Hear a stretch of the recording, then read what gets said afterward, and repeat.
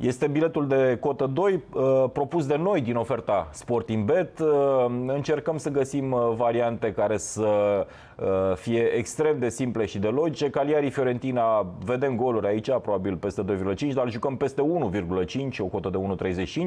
Sociedad Levante, Sociedad favorit aici, 1x și Gladbach Freiburg, din nou goluri. În total, cota finală a biletului nostru ar fi 2,01, ceea ce pentru strategia strategia uh, biletului în cotă 2 este exact ceea ce ne-am propus, dar mai multe detalii, dacă vreți, trebuie să intrați pe site, pe pariorul1x2.ro și să vedeți acolo care este această strategie în caz că nu o cunoașteți, pentru că e o strategie foarte uh, bine pusă la punct și foarte specifică.